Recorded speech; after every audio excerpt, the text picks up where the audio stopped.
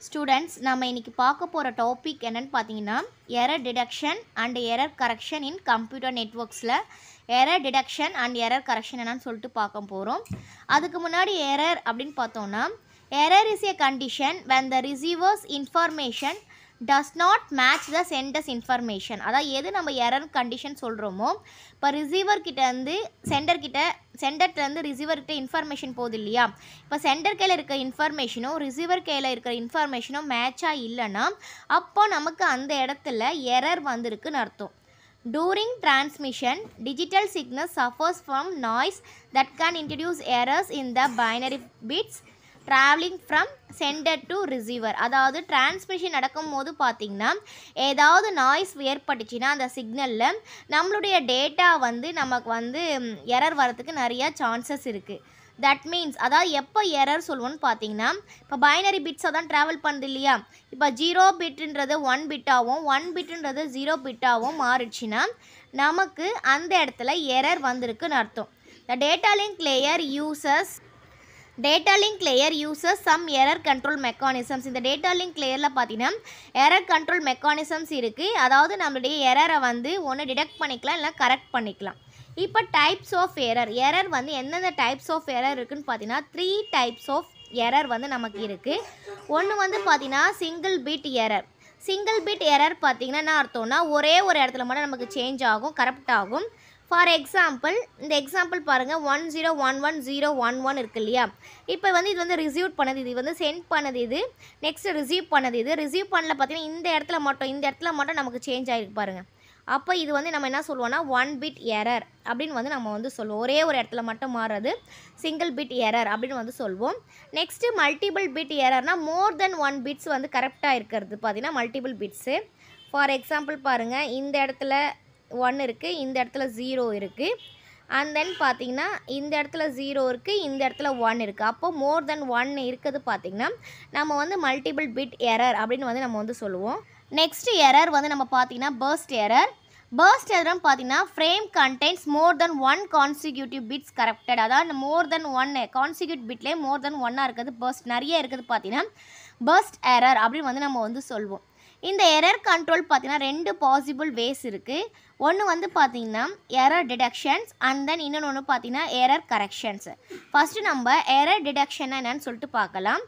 Error deduction அப்படின்னு பார்த்தோன்னா error வந்து வரதுக்கு முன்னாடி தடுக்கிறது தான் பார்த்தீங்கன்னா எரர் டிடக்ஷன்ஸ் எரர் வராமல் தடுக்கிறது தான் என்னன்னு சொல்லுவோம்னா எரர் டிடக்ஷன் அப்படின்னு வந்து சொல்வோம் எரர்ஸ் இந்த received frames are detected by means of அதாவது இது வந்து எதன் மூலிமா டிடெக்ட் பண்ணலான்னு பார்த்தீங்கன்னா parity check and cyclic redundancy செக்னு சொல்லிட்டு CRC and then parity check ரெண்டு மூலிமா நம்ம வந்து எரரை வந்து டிடெக்ட் பண்ணலாம். ஃபஸ்ட்டு பேரிட்டி செக் அப்படின்னா என்னன்னு சொல்லிட்டு பார்க்கலாம். ஒன் எக்ஸ்ட்ரா பிட் அதாவது பேரிட்டி செக் எப்படின்னு பார்த்தீங்கன்னா ஒரு பிட் எக்ஸ்ட்ரா வந்து ஆட் பண்ணி நம்ம ஒரிஜினல் வந்து சென்ட் பண்ணுவோம். இப்போ வந்து பார்த்தீங்கன்னா அது எப்படி இருக்கணும்னு பார்த்தீங்கன்னா இப்போ வந்து எய்தர் அது ஈவனாக இருந்துச்சுன்னா நம்ம வந்து ஒன்று எக்ஸ்ட்ரா ஆட் பண்ணுறோம் இல்லையா? அது வந்து ஜீரோன்னு ஆட் பண்ணிப்போம். அதுவே ஆட் அப்படின்னா ஒன்று வந்து ஒன்று ஆட் பண்ணிப்போம். அப்படின்னா என்ன அர்த்தம்னா ஒன்று வந்து ஈவன் நம்பரில் நம்ம நம்பர் ஆஃப் ஒன்ஸ் அனுப்புகிறோம் இல்லையா? ஃபார் எக்ஸாம்பிள் ஒன் இப்போ ஒன் ஒன்னா இது த்ரீ ஒன் த்ரீ ஒன்னா இது ஆடு அப்போ வந்து நம்ம வந்து ஜீரோன்னு ஆட் பண்ணி எக்ஸ்ட்ரா பிட் ஆட் பண்ணுவோம். ஃபார் எக்ஸாம்பிள் இப்படி இருந்துச்சுன்னா அர்த்தம்? ரெண்டு பிட் ரெண்டுடா ஈவன் ஈவனாக இருந்தால் ஜீரோ ஆட் பண்ணி அனுப்பணும். அண்ட் தென் ஆடாக இருந்ததுன்னா நம்பர் ஆஃப் ஒன்ஸ் தான் கணக்கு. ஆடாக இருந்துச்சுன்னா ஒன் ஆட் பண்ணி அனுப்பணும். இப்போ ஒரு எக்ஸாம்பிளோட பார்க்கலாம். If even priority is use number of ones is even then one bit the value zero is added அதை நான் சொன்னேன் இல்லையா? ஈவன் பேரிட்டி பிட் அதாவது ஒன்று வந்து ஈவனாக இருந்துச்சுன்னா ஒன் நம்பர் ஆஃப் ஒன்ஸ் வந்து ஈவனாக இருந்துச்சுன்னா அந்த வ அந்த பிட்டில் ஜீரோ ஆட் பண்ணுவோம். இதே வந்து ஆடாக இருந்துச்சுன்னா ஒன் ஆட் பண்ணுவோம். இப்போ இந்த எக்ஸாம்பிள் பார்க்கலாம். இப்போ இந்த எக்ஸாம்பிளில் நம்பர் ஆஃப் ஒன்ஸ் எத்தனை இருக்கே? ஒன் டூ த்ரீ அப்போது ஆட் பிட் ஆட் பிட்டை தான் நம்ம என்ன சொல்லுவோம்? எக்ஸ்ட்ராவாக ஒன் ஆட் பண்ணி அனுப்பணும்னு சொல்லுவோம். அப்போ இந்த இடத்துல நம்ம என்ன பண்ணுவோம்ல லாஸ்ட் பிட்டில் ஒன்று ஆட் பண்ணி ஏன்னா ஆட் பிட் இல்லையா? ஆட் பிட்னா ஒன்று ஆட் பண்ணி அனுப்புகிறோம் நெக்ஸ்ட் எக்ஸாம்பிள் பாருங்கள் இந்த எக்ஸாம்பிளில் பாருங்கள் one two three four five six சிக்ஸ்ன்றது என்னது? நமக்கு ஈவன் ஈவனாக இருந்தால் நம்ம என்ன பண்ணோம்? லாஸ்ட் பிட்டை ஜீரோ ஆட் பண்ணோம் இல்லையா? அப்போ இந்த இடத்துல நம்ம வந்து ஜீரோ ஆட் பண்ணி அனுப்பணும். இதான் பார்த்தீங்கன்னா பேரிட்டி செக் நெக்ஸ்ட் வந்து பார்த்தீங்கன்னா சைக்ளிக் ரிடனன்சி செக் சிஆர்சி அப்படின்னு வந்து சொல்லுவோம். CRC is a different approach இது வந்து நிறைய டிஃப்ரெண்ட் அப்ரோச் அது மாதிரி இல்லாமல் டிஃப்ரெண்ட்டாக இருக்கும். To detect if the received frame contains valid data அதாவது நம்ம அனுப்புகிற டேட்டா எப்படின்னா வேலிட் டேட்டா தான் இருக்கும். எரர் வராமல் தடுக்கும். இந்த டெக்னிக் வந்து பார்த்திங்கன்னா இஸ் அ பைனரி டிவிஷன்ஸ் இந்த இடத்துல நம்ம என்ன யூஸ் பண்ணுறோம்னு பார்த்தீங்கன்னா பைனரி டிவிஷன் மூலயமா அனுப்புகிறோம் the divisor is generated using polynomials நம்ம யூஸ் பண்ணுற டிவைசர் எப்படி இருக்கணும்? பாலினாமியல்ஸாக இருக்கும். The sender adds a remainder at the end of the actual bits the actual data bits plus the remainder is called the code word. அதாவது sender எப்படி அனுப்புவாங்களாம் நம்மளுடைய ஆக்சுவல் பிட் ஒன்று இருக்கும் இல்லையா அதுவும் ரிமைண்டர் நமக்கு வந்த வேல்யூ ரெண்டு சேர்த்து தான் அனுப்புவாங்க. அந்த ரெண்டு சேர்த்து இருக்கிறது தான் நம்ம என்னன்னு சொல்லணும்னு பார்த்தீங்கன்னா கோட் வேர்ட் அப்படின்னு வந்து நம்ம வந்து சொல்லுவோம். இப்போ எக்ஸாம்பிளோட பார்க்கலாம். எக்ஸாம்பிளோட பார்க்கும்போது நமக்கு வந்து கிளியராக புரியும். இப்போ வந்து பார்த்தீங்கன்னா இதான் நம்மளுடைய டேட்டா ஓகேவா இதான் நம்மளுடைய டேட்டா இது டிவிஷனாக அனுப்புகிறோம் ஒன் ஜீரோ ஒன் சொல்லிட்டு. இப்போ டிவிஷன் அனுப்பும் போது பார்த்தீங்கன்னா நமக்கு வந்து இது வந்து டிவிஷனாக போகும்போது ஒன் ஜீரோன்றது ரிமைண்டர் வந்திருக்கு இல்லையா? இதுதான் என்ன சொல்லுவாங்க சிஆர்சி இப்போ நம்ம டேட்டா எப்படி அனுப்புவோம்னு பார்த்தீங்கன்னா இந்த இதுதான் ஆக்சுவல் டேட்டா இந்த டேட்டாவோட லாஸ்ட்டில் இந்த ஒன் ஜீரோ போட்டு அனுப்பும் இப்போ வந்து இப்போ டிவிஷன் அவங்க வந்து மறுபடியும் எப்படி எடுப்பாங்க அந்த ரிசீவர் அந்த டிவிஷன் மூலிமா அந்த ஆக்சுவல் டேட்டாவை எடுத்துப்பாங்க. இப்போ நம்ம அனுப்புகிற டேட்டானா அது one one zero zero one and then one ஜீரோன்னு ஆட் பண்ணி அனுப்பியாச்சு. இப்போ வந்து அதே நம்பரில் நம்ம வந்து டிவிஷன் பண்ணோன்னா நமக்கு ஜீரோ ஜீரோ ஜீரோ வரணும். அப்படி ஜீரோ ஜீரோ ஜீரோ வந்தால் தான் எந்த எரருமே இல்லாமல் கரெக்டாக வந்திருக்குன்னு அர்த்தம். இப்போ இங்கே ஜீரோ ஜீரோ வராமல் வேறு ஏதாவது வேல்யூ வந்துச்சுன்னா அப்போது அந்த டேட்டாவில் எரர் இருக்குன்னு அர்த்தம். இதான் பார்த்தீங்கன்னா சிஆர்சி மெத்தட் இப்போ இதுதான் வந்து நம்ம போட்டிருப்போம். At the other end the receiver performs division operation தான் பண்ணுவாங்க. ரிசீவரும் அதே மாதிரி ரிசி டிவிஷன் ஆப்ரேஷன் மூலயமா அந்த டேட்டாவை எடுத்துப்பாங்க.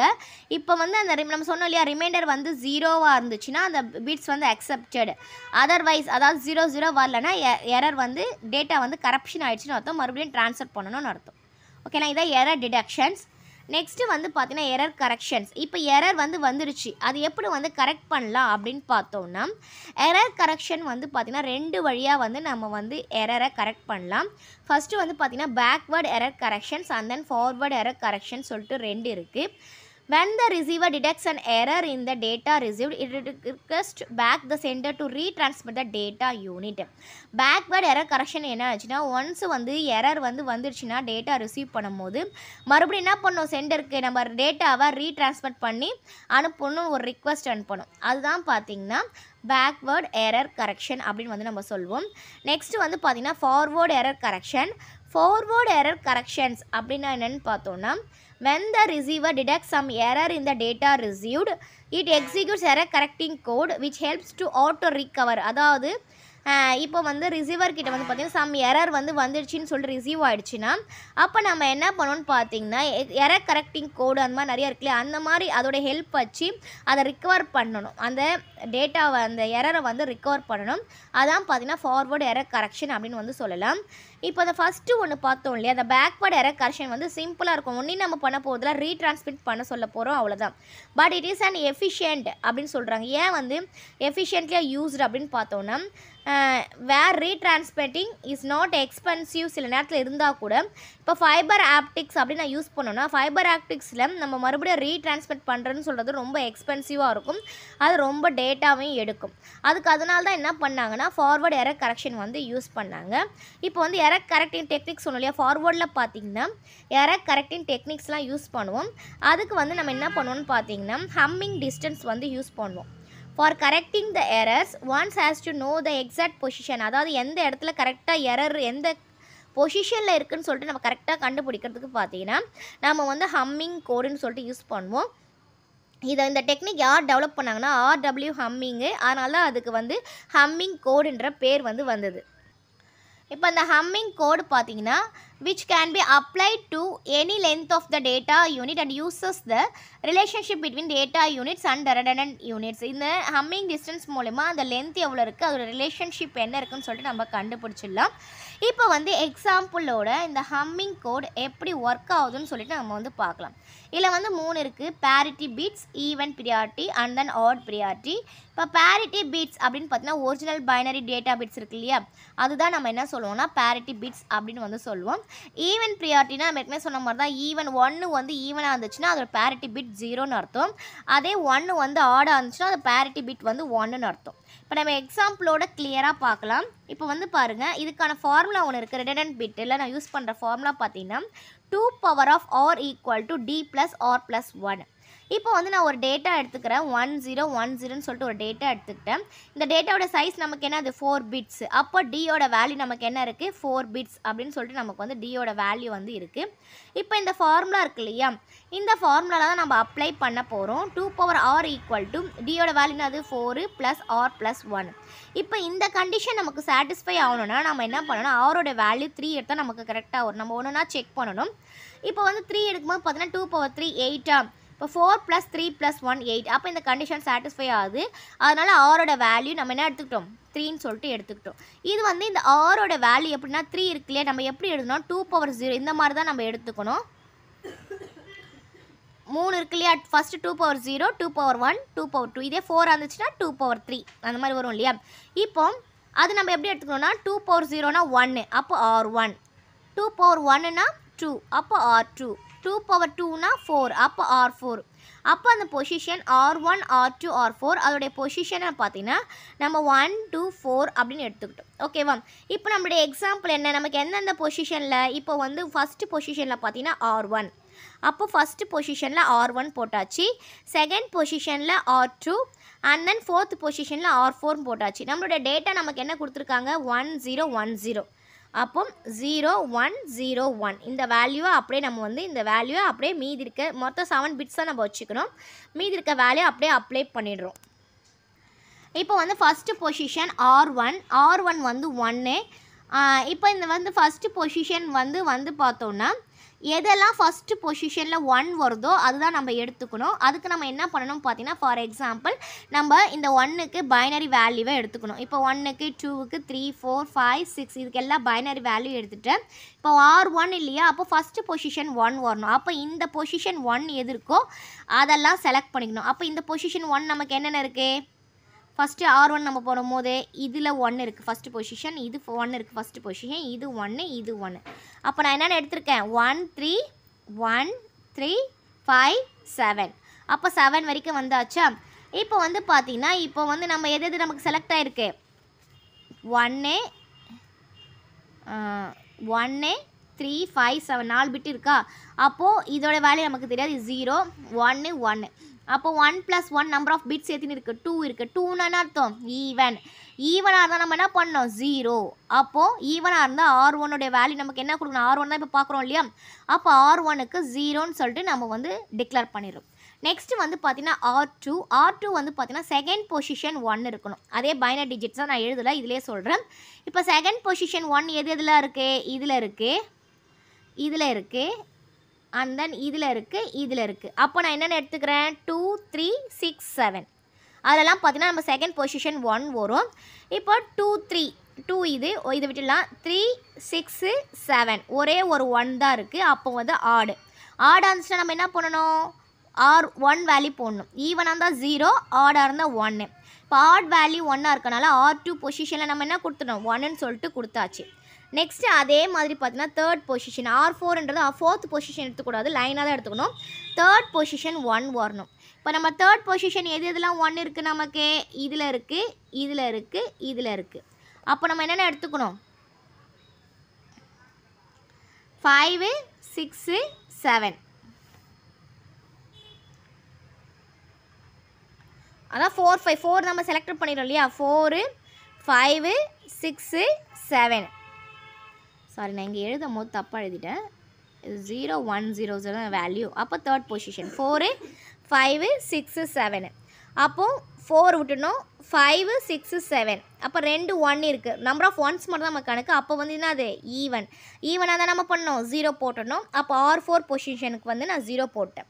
இதுதான் பார்த்தீங்கன்னா நம்முடைய ஃபைனல் ஆன்சர் இப்போ வந்து ஃபார் எக்ஸாம்பிள் இந்த ஆன்சரில் எதையோ ஒன்றுத்தில் மாறிடுச்சுன்னா கிளியராக எந்த பொசிஷனில் நமக்கு எரர் இருக்குன்னு சொல்லிட்டு கண்டுபிடிச்சிடலாம். இப்போ ஃபார் எக்ஸாம்பிள் இங்கே டூ இருக்கா? இந்த டூவில் ஒன் இருக்குது இதான் வந்து நம்மளுடைய கரெக்டான டேட்டா இந்த டூக்கு ப ஒன்னுக்கு பதில் நான் என்ன கொடுக்குறேன்னா ஜீரோன்னு கொடுத்துட்றேன் ஃபார் எக்ஸாம்பிள் பாருங்கள் இப்போ ஆர் டூ வேல்யூவை நான் ஜீரோன்னு கொடுத்துட்டேன். அப்போ ஜீரோ நான் வந்து இங்கே டிக்ளேர் பண்ணிட்டேன்.